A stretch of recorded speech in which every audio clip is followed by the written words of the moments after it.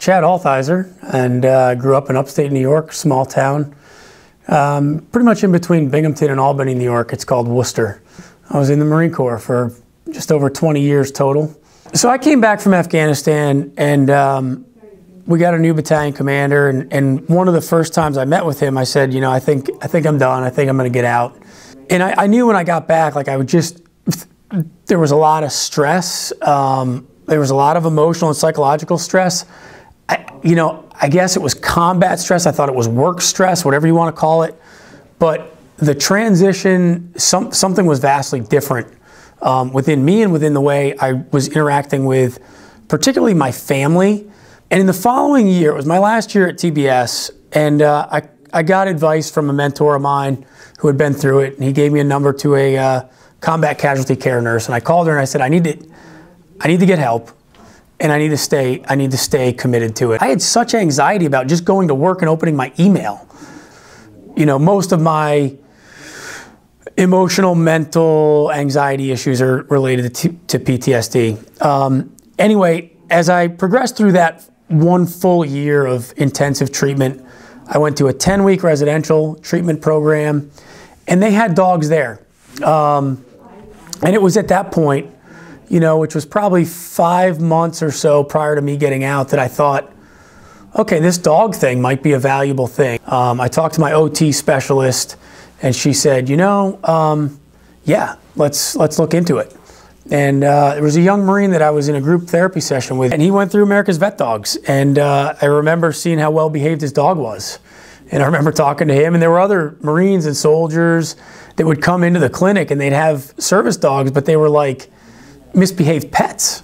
And uh, I thought, man, I, I, I, mean, I guess if I'm going to apply for a service dog, I'm going to go through America's VetDogs. Um, and then he told me about the PTSD research study.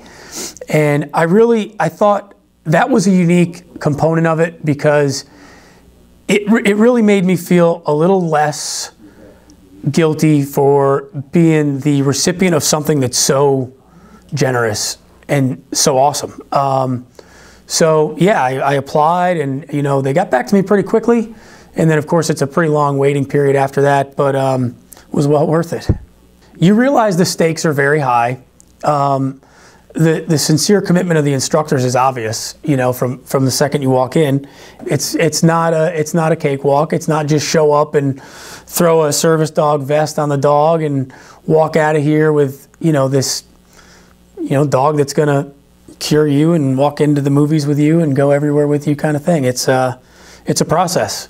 I mean, I'm in love with this dog. You know, I uh, I can already tell.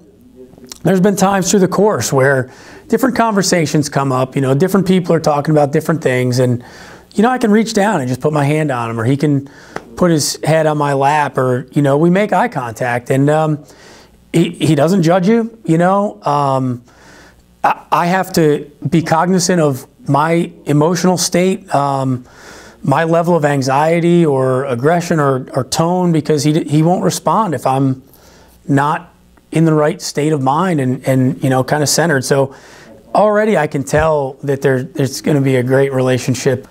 Well, I hope going forward that uh, I can create a structure in my life um, each day that's a, it's a little bit more structured and a little bit more predictable. You know, life's a project, so we're gonna have we're gonna have some more setbacks, and we've got we've got some more hurdles to to overcome. You know, I I've learned that my uh, you know the issues that I'm that I'm dealing with aren't aren't just shallow, superficial things. You know, these are these are deep things, and and uh, so we we got a long long road to travel. But I think it's going to be a bright future, and um, I'm really happy to have Mikey be a part of it.